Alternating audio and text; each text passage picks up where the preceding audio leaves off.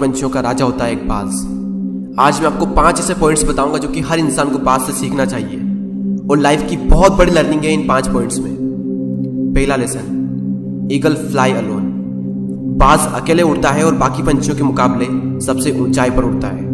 बाज अकेले उड़ेगा लेकिन कभी भी चिड़िया और छोटे पंछियों के साथ नहीं उड़ेगा।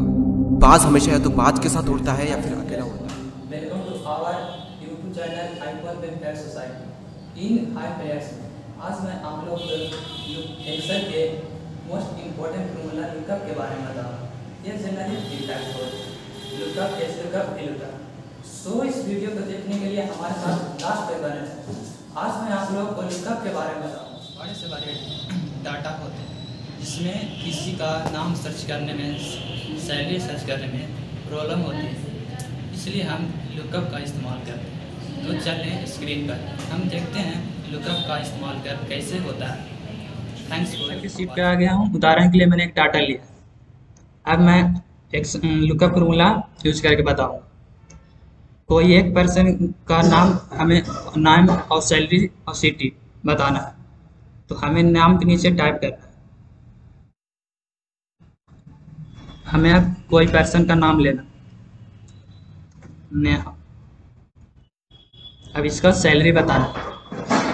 इक्वल टू लुकअप शिफ्ट के साथ bracket lookup value lookup value मेरा क्या है? Neha. Comma lookup vector comma इसका सैलरी निकालना।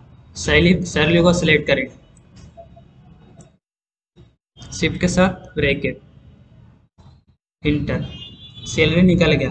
अब हम, हमको इसका सीटी निकालना। तो फिर लुकअप फार्मूला लगाएँगे। इक्वल टू लुकअप शिफ्ट के साथ ब्रैकेट लुकअप वैल्यू मेरा क्या है? नेहा। कॉमा अब इसका हमको सीटी निकालना है। तो फिर से हमको लुकअप वेक्टर पूरा रेंज सेलेक्ट करना पड़ेगा। फिर कॉमा रिज़ल्ट वेक्टर हमको क्या निकल सिटी शिफ्ट के साथ ब्रैकेट इंटर ये नेहा का सैलरी और सिटी निकल गया. अब हमें किसी भी पर्सन को निकालने के लिए हमें लुकअप फॉर्मूला यूज़ करना नहीं पड़ेगा. सिर्फ़ यहाँ पे नाम टाइप करना है. राजा और इंटरप्रेस उसका सब कुछ चेंज हो गया.